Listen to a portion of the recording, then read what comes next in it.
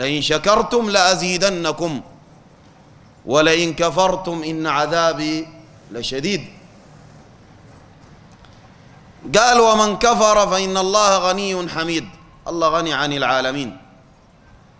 وكان إنت شكرت ولا ما شكرت؟ هو حميد متصف بصفات المحامد منزه عن صفات النقص.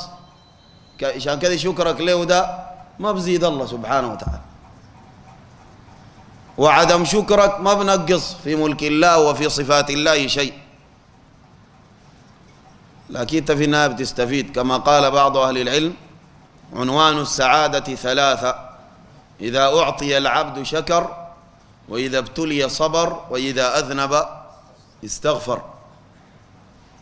ونحن يا جماعة الآن في نعم كثيرة لكن قليل اللي بيشكر يعملوا آل داود شكرا وقليل من عبادي شنو؟ الشكور. والله مع اللي ابتلى اللي نحن عايشينه ده الله في نعم. الله في نعم. هسه نحن جايين في الطريق. واحد من أخواننا ديل أخونا الدناير ده قال واحد من الشباب عنده بيت نزل الله يشفيه ويشفي جميع مرضى المسلمين. وداه الهند.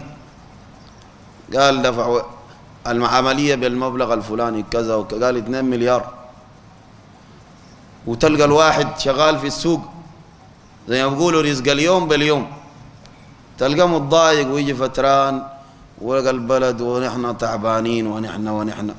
وعنده سبعة أطفال واحد فيهم مع عيان ولا نزلة ما عنده. هذه سبعة ديل كان أي واحد أدو زي العملية دي رأيك شو تقعد تجارة وتمشي وذا. الله أنعم على العباد نعم كثيرة. تعرف المشكلة إنه الإنسان ما بينتبه. يعني ابن آدم ده ما بينتبه للنعم اللي هو فيها بس بينتبه للمصيبة جاته. يعني كان جاء وجع راس صاي بينسى نعم الله كلها بس بيفكر في وجع الراس ده. أنا ليه جاني وجع راس؟ والناس دي كلها ما عندها وجع راس وأنا جاني. أنت ما جايب خبر يا أخي شوف. فالناس في ابتلاء كيف؟ في ناس ما قادرين ينوموا الليل. عندهم مشاكل بتاعت أعراض. واحد قدر ما يجي ينوم يفتح. وناس عندهم مشاكل بتاع الديون مرميين في السجون. وناس الواحد واقع في جريمة قتل هذاك في السجن.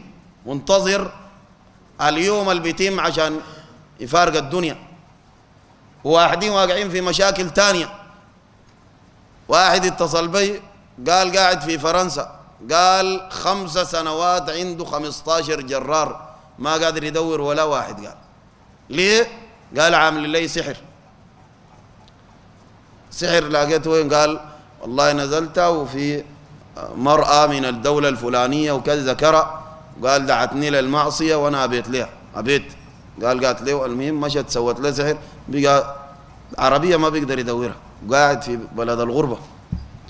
وكتار مشا... الناس دي كلها عارفة مشاكل. لكن يا جماعة الإنسان يشكر الله سبحانه وتعالى. وينتبه.